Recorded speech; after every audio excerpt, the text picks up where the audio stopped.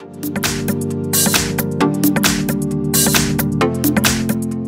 I've got Neffos C7S and let me show you how to activate portable hotspot on the following device. So at first let's open the settings, then find and select network and internet. Then you have to go to hotspot and tethering. Okay, so it was this one. And now pick LAN hotspot. Simply by tapping on this switcher, you can activate your portable hotspot. As you can see from now on it's active and you can share internet with other devices and here you can locate the sign right next to the battery. That means that your portable hotspot is currently on. If you'd like to change the hotspot name, simply click on hotspot name and and now you can smoothly just give me a sec smoothly change the current one and enter a new one.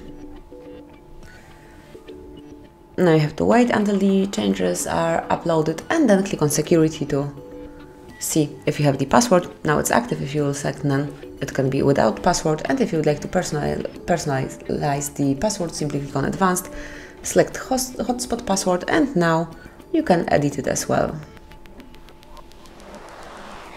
and click on OK to save it. So that would be all. So you can activate and deactivate portable hotspot on your Neffos C7S. Once you want to switch it off, simply click on this icon. And that would be all. This is how you can share internet with your Neffos C7S. Thank you for watching. Please subscribe our channel and leave the thumbs up.